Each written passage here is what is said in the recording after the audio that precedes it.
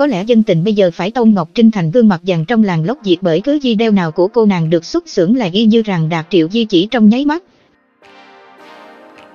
Người ta vào xem Trinh một phần là vì tò mò không biết cuộc sống của nữ hoàng nội y như thế nào nhưng một phần khác thì cứ quay lại kênh giao tu của Trinh là bởi họ thích cách Trinh nói chuyện cũng như lựa chọn chủ đề để lên sóng.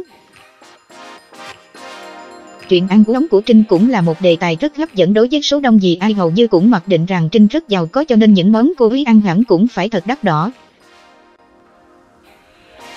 Tuy nhiên, từ ngày làm giao tu be đến giờ, Ngọc Trinh lại có vẻ dành cảm tình của mình nhiều hơn cho các món ăn đường phố mà rất ít nói về các nhà hàng sang chảnh. Điều này có gây bất ngờ cho mọi người không? Trinh hay đi ăn quán bình dân. Và lần nào cũng suýt xoa với chúng. Ngọc Trinh tự nhận là cô bé ăn hàng như là cách để khẳng định thương hiệu bình dân số của mình vậy. Cô ấy đã có nhiều năm ở đất Sài Gòn, cộng với tính cách thích la cà hàng quán cho nên đến thời điểm hiện tại, cô ấy chắc đã biết hết tất cả ngóc ngách của nơi này rồi cũng nên. Các ngóc ngách ở Sài Gòn này chắc không chỗ nào Trinh không biết. Trinh có thể ăn đủ mọi thứ trên phố, nào là bướng, là phở, là bánh canh, là mì, là ốc thứ nào Trinh cũng ăn rất ngon lành khiến cho những người xem video của Trinh cứ muốn bay đến tận nơi và thử luôn mới được. Trinh lại rất có cái thiếu re di nha, cực kỳ chân thật, có gì nói đấy chứ chẳng khoa trương màu mè bao giờ. Có ý vậy nên nhiều người rất thích xem video của Trinh. Nghe nói Ngọc Trinh quê ở miền Tây, và theo nhiều người nhận xét thì kiểu ăn uống của Trinh là đúng rạc nơi miền sông nước này luôn. Chúng ta không bàn đến khẩu vị gì ở đâu quen đó mà hãy nói nhiều hơn về tinh thần ăn uống của họ đi. Người miền Tây có cái thú ẩm thực tiên của mình và món ăn nào làm ra cũng có cái lý riêng của họ. Có thể kể đến chuyện họ dùng đồ ăn để làm thuốc hay quan niệm ăn để mà sống cũng là một ví dụ vô cùng điển hình. Người sông nước rất trân trọng đồ ăn cho nên họ thường ăn với tất cả sự yêu thích, từ đó ai nhìn vào cũng thấy ngon miệng. Mà cũng có thể do ở đó người ta lao động cực nhọc cho nên cứ cái gì bỏ vô miệng là cũng thấy ngon thấu trời đất, mặc cho món ăn nhiều khi chỉ là con cá bắt dưới kênh mang lên nướng dội thì cũng là sơn hào hải vị quý giá lắm rồi. Và cách ăn uống có phần nấu nghiến đó cũng theo Ngọc Trinh lên tận Sài Gòn luôn. Trinh đi ăn lần nào cũng vô cùng háo hức, cô ấy ngồi vào bàn, gọi chủ quán để lấy đồ ăn với tất cả sự vui mừng gì được ăn. Nhìn vào đó thôi, ai cũng phải công nhận Ngọc Trinh làm re di đồ ăn là vô cùng đúng đắn. Mà có điều là như thế này, có lần Trinh cũng giới thiệu với mọi người về một nhà hàng vô cùng sang trọng ở Thái Lan nhưng ai cũng phê và cho rằng hơi phí tiền.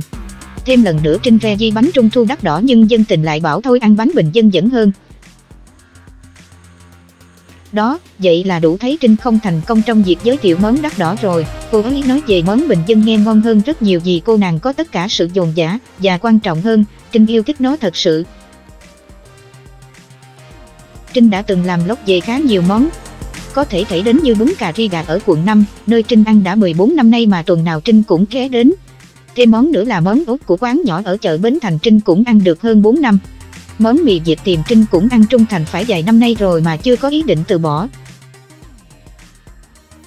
Đó, Trinh có vẻ rất gắn bó với những nơi này, mà đi đến đâu Trinh cũng nói đồ ăn ở đó ngon hết cả, chẳng thấy cô ý rê điều gì. Mà có lẽ, vì nó ngon cho nên Trinh mới chọn để re di chứ dở thì thôi luôn rồi chứ. Đang ăn thì gặp mưa, Trinh cũng chẳng ngại bê bát vào trong nhà để ngồi.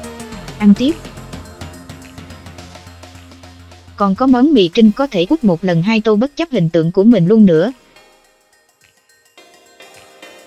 Cũng có lần khác, Trinh dẫn khán giả về quê hương Trà Vinh của cô nàng để thử những món Trinh ăn từ hồi nhỏ. Ở đó Trinh có ăn bánh canh, bún nước lèo, bánh ấn, chè sương sa, toàn là những món bình dân và Trinh thì vẫn cứ thấy ngon như ngày nào. Cái tính này của Trinh cũng là đặc trưng của người miền Tây bởi một khi đã thích cái gì thì họ cứ quen với cái đó và chẳng mấy khi thay đổi. Với họ, những thứ thân thuộc bao giờ cũng tốt hơn cả và mang lại cảm giác êm ấm như chính ngôi nhà của mình vậy. Đó, nhìn Trinh ăn ngon như vậy, có ai từng nghĩ sẽ thử một lần về Trà Vinh quê của Ngọc Trinh hay là đặt một chuyến bay từ Hà Nội vào Sài Gòn để thử hết những món ăn cô ý Regi hay chưa? Chuyện Ngọc Trinh kẻ khen người Tây trước nay vốn chẳng còn là chuyện mới lạ gì. Người ta vẫn cứ đi làm nhiều phe mà tranh cãi về cô gái sinh năm 1989 này và chưa hề có hồi kết. Đành rằng, Trinh cũng tạo ra lắm thị phi thật nhưng riêng về khoản nói chuyện và kiếm câu chuyện làm quà để người ta tương tác với Trinh thì Trinh chưa bao giờ về nhị. Phải chăng gì vậy mà cái tên Ngọc Trinh luôn luôn qua trên mọi mặt trận. Trinh lắm thị phi thật. Nhưng về khoản thu hút người khác thì cũng không ai bằng Trinh đâu. Còn riêng về phong cách ăn uống này, nhiều người phải thừa nhận yêu quý cách Trinh làm lốc thật sự.